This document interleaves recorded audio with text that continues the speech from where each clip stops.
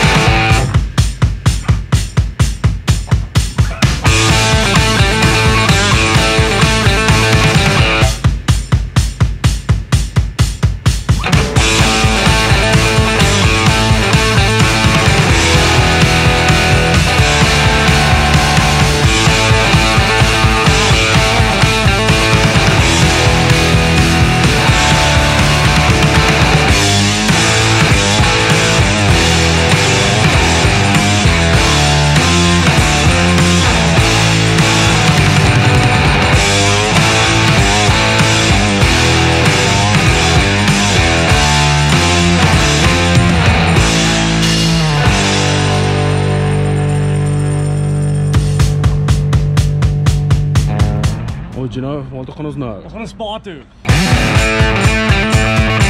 toe.